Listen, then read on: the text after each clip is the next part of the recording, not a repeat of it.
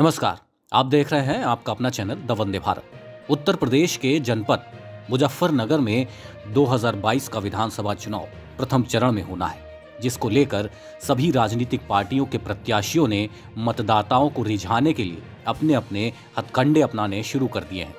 उत्तर प्रदेश में होने वाले विधानसभा चुनाव के बीच भारतीय जनता पार्टी के एक नेता का विवादित बयान सोशल मीडिया पर जमकर वायरल हो रहा है। मुजफ्फरनगर सदर सीट से बीजेपी उम्मीदवार कपिल देव अग्रवाल ने बयान दिया है कि जिन्हें वैक्सीन नहीं लगवानी, वो जहर खा लें। दरअसल, मुजफ्फरनगर सीट से भाजपा ने कपिल देव अग्रवाल को अपना उम्मीदवार बनाया है। एक कार्यक्रम के दौरान उन्होंने व्यापारियों को संबोधित करते हुए कहा कि देश में डेढ़ सौ करोड़ लोगों को वैक्सीन लग गई है। जिसे वैक्सीन नहीं लगवानी तो वो जहर खा लें। इतना ही नहीं। वो ये भी कह रहे हैं कि अगर अखिलेश यादव मुख्यमंत्री होते तो दंगे हो गए होते।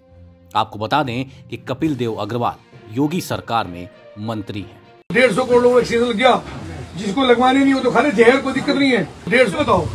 अगर अखिलेश यादव होते मुख्यमंत्री या कोई और मुख्यमंत्री होता तो वैक्सीन लग जाती क्या? नहीं लगे प्रदेश में दंगे हो जाते भाई साहब सुनो मेरी बात। कतलेआम हो जाते। पहले मैं लगाऊँगा पहले मैं लगाऊँगा पहले मैं लगाऊँगा जब लोग मर रहे थे वैक्सीन की ना वैक्सीन सबको डेढ़ सौ करोड़ देश दुनिया की तमाम खबरों के लिए देखते रहिए द वंदे भारत।